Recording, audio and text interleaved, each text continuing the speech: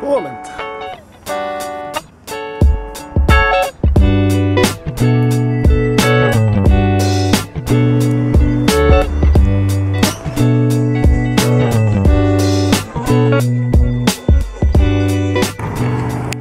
No mutta, no mutta kerrassaan oikein hyvää päivää arvon katsojat.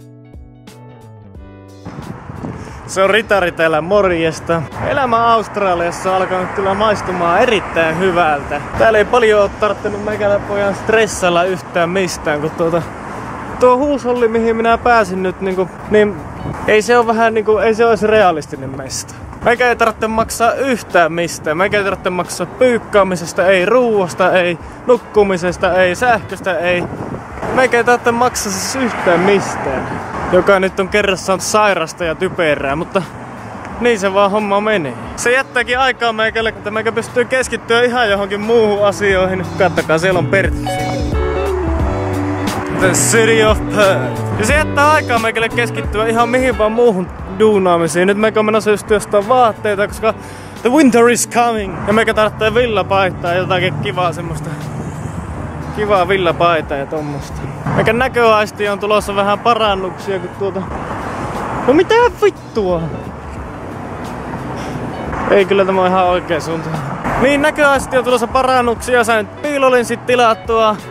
Singaporesta tulee jo 10 päivän sisällä. Pankkikortti pitäisi olla näiden näppäimillä postissa jo. Ja kaikki asiat rullaa oikein kauniisti. Yhtä kauniisti kuin sää tänään. Siis todella kaunis päivä ollut. Ei piru vie perkele. Eihän tästä tuu mit. Välillä vähän on haastavaa suunnistaa meikä pojalle. Mutta piru, onhan tällä kaunista. Kattokaa nyt, palmuja kasvaa puissa.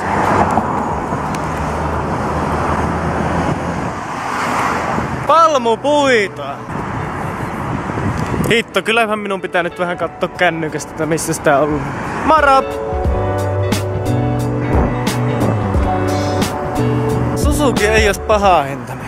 Ja kato Hyundai sais kahdella tonni. Kahdella tonni. Ei ole kyllä paha hintaisia autoja lopussa. Tuommoisia rupusia saa mitä kahdella tonnilla. Se on kaksi kolmasosaa euroissa. Yksi kolmasosa lähtee hinnasta pois. Hyi saatan. Kyllä tässä alkaa olla enemmän autoja minun maku. Oi, oi, oi.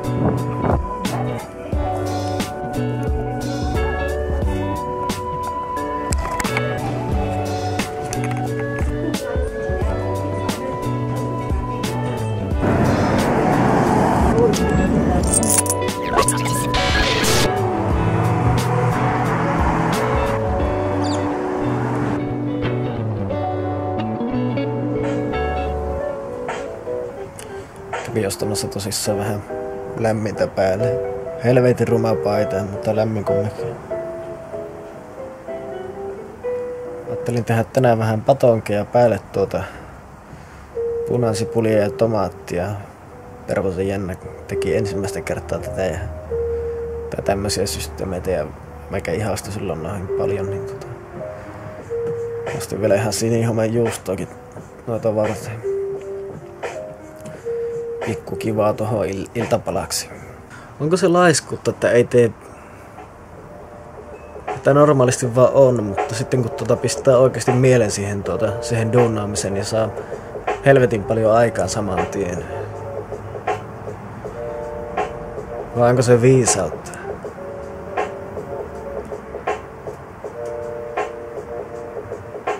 En tiedä. Jokainen näkee sen omallaan tavallaan, mutta se on kyllä meikän tapa tallata. Se on aina ollut meikän tapa tallata. Läksyt ja opiskelu, nää nää nää. Mutta viimeisenä päivänä pystyy vähän tuota katsoa ja silloin sitä op... silloin sitä aina sai aikaa ja sai kokeista ne numerot, mitä itse vähän niin tavoitteli. Eli sitä 7 ja 8. Mutta se on kyllä opetus, opetuksessa on justiin pielessä se, että kun on suorituskeskeinen opiskelu sille, että se koe on mikä vähän niin kuin merkkaa.